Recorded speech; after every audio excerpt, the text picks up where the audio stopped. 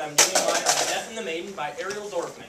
Uh, more specifically, the focus of my presentation is going to be on the analysis of music as it occurs throughout the play.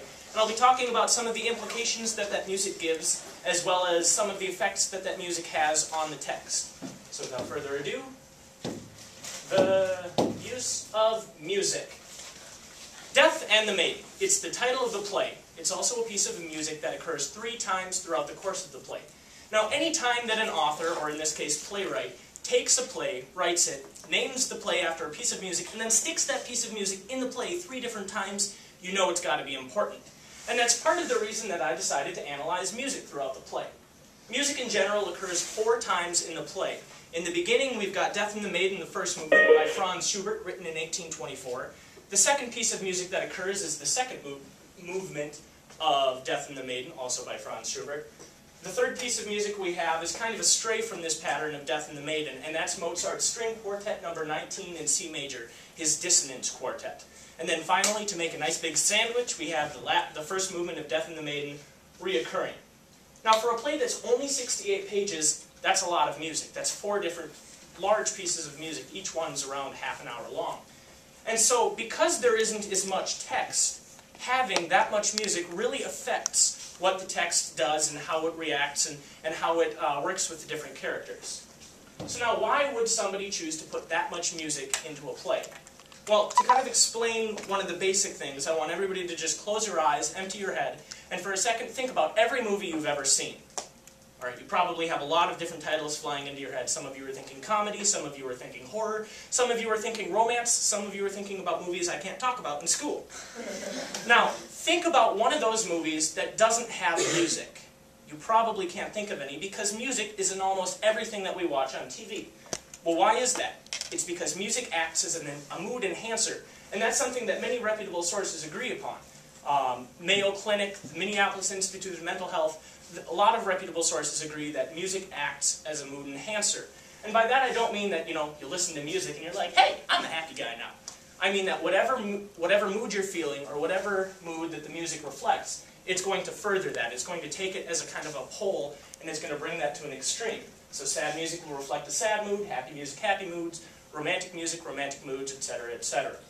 Uh, likewise, in this play, one of, the one of the points of having music is to take the moods that are expressed, some of the, the nuances throughout the play, the sad feelings, and to really make those even more sad, to make them even more in-depth. And so that's just one of the things that music does. Uh, to kind of better explain this, I've prepared a short little video clip that has the same footage that occurs three different times, but under each footage, under each uh, reoccurrence of that footage, I put a different soundtrack to show how changing the music can completely change the meaning and the implications of the video. So,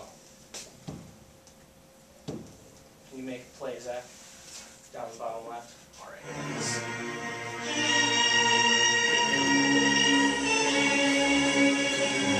John, Susan, what are you doing here? I've got something for you. What is it? It's a surprise. Am I going to like it? There's only one way to find out.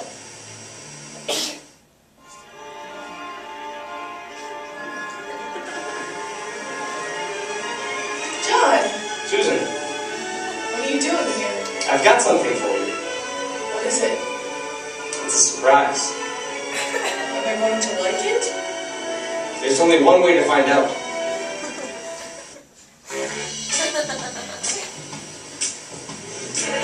John, Susan, what are you doing here? I've got something for you. What is it? It's a surprise. Am I going to like it? There's only one way to find out.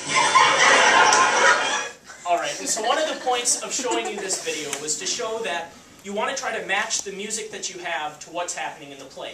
Now, Death and the Maiden is kind of a sad play. It's got some pretty serious topics involving torture, rape, and some other stuff. And so it wouldn't make sense for Ariel Dorfman to put in music like Barney or the Simpsons theme song. And so as a result, we wind up with things like Death and the Maiden.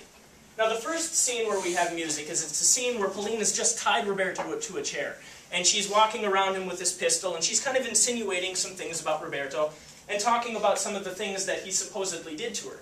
And then she begins to talk about Schubert and how that was the worst of all, that he played Schubert. And so just to show you kind of how music can influence and deepen the mood, I've prepared a kind of cut up clip of from the play, and I'm going to play the music while I read it, and just think about, well, how does that make the mood more intense?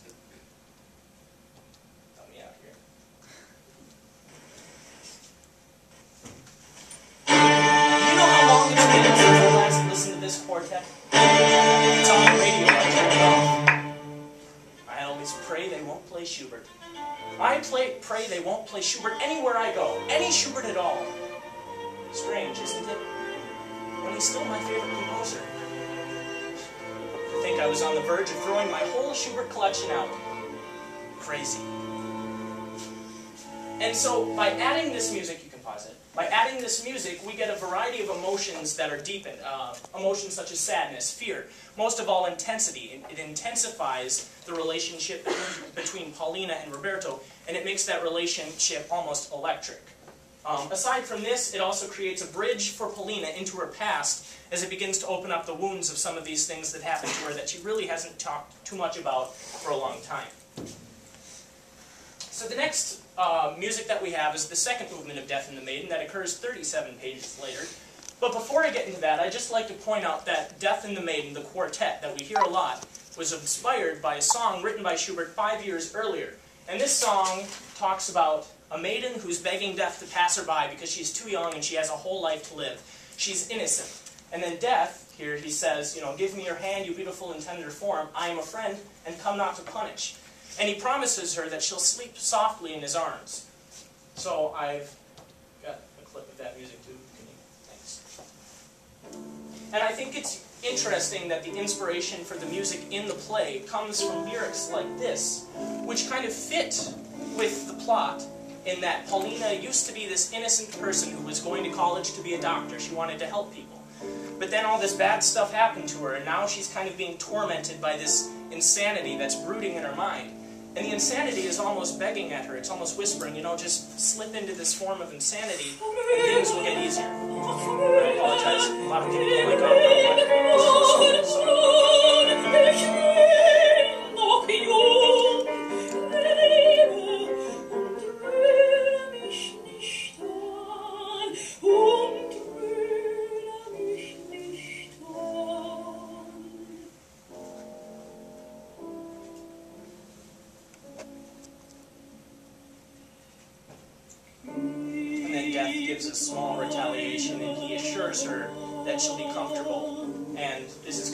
similar to Paulina's insanity, and she's constantly trying to escape from it.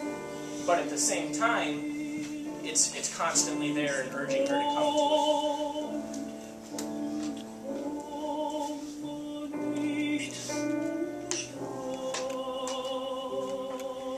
Anyway, you get the idea of that. Um, this piece was the inspiration for the quartet Death in the Maiden, especially the second movement of Death in the Maiden, which is the second piece that we have. And they're pretty much the same notes, although one's on an orchestra and one's piano and vocal. So, alright. Death in the Maiden, the second movement. One of its qualities is it's known as kind of a death march, a dirge, something that will be played at a funeral. And when you look at its qualities and where it's being played, it kind of creates this death march-like walk into the truth. Uh, a little better explanation is Paulina is sitting there and she's beginning to confess to her husband Gerardo about all the things that happened to her in the past. And she sits down and she begins to record her confession into this tape. And then the lights dim and all that we have are the glow, the flicker from the cassette recorder. And then Roberto's voice takes over and he begins to justify some of the things that he did and explain, you know, I was just trying to be a good guy by keeping these people alive, but then I got power hungry. And so what, once again, what we get is kind of a death march-like walk into the truth, a somber, uh, slow pace as what happened is revealed. And so Dorfman would have chosen this music likely because of the message it can get conveyed through the former lyrics and because of its walking death, mar death march-like qualities. And then the third movement we get, oh yeah, yeah, just skip that. The third movement that we get is Mozart's Dissonance Quartet. Now this is the third piece of the play, and it's also the only one not from Death and the Maiden. So why would Dorfman decide to take a piece that's not like any of the others and put it in? Well, most likely because it has some sort of special significance. So I began to look at this, and I began to hear the dissonance. And then I looked at what was happening in the play at the time. This occurs right after the big climax of the play where Paulina is about to shoot Roberto. And you know, there's this big face-off between the two where he's like, you know, I'm innocent, you don't deserve to do this, don't shoot me. And she's like, well, where does it end? Why don't I get justice? And so as that happens, the lights fade, and out on stage comes a mirror. And the audience sees themselves reflected in this mirror. And at the same time, there's a spot that passes over the crowd, and it, it picks out two or three people at a time.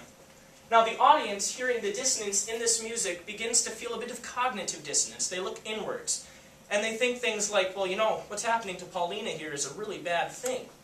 But I couldn't be capable of something like that, could I? I mean, I could never do something like that. Maybe my neighbors, maybe the guy highlighted by that spotlight over there, but not me. But in the same sense, we're all complicit in that do we ever really do anything to stop the evils around us? We don't. And because of that, we're all bystanders, and in that sense, we are guilty of perpetuating them. So, press play. So listen to the, the clash of the notes in the beginning and think about how seeing yourself as this is happening and being highlighted by a spotlight would kind of create that mental image of almost inward guilt.